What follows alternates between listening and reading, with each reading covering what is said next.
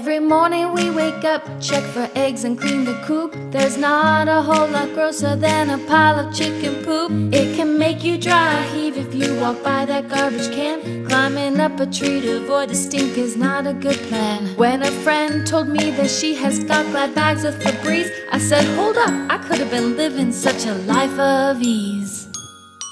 My boys will say, Hey, hey, we're so happy that you got glad day OdorShield guarantee back. Even when the chicken poops in the trash.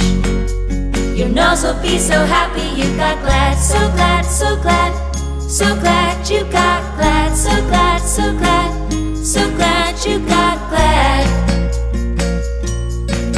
Chicken poop is no big deal. We're talking for real when you choose glad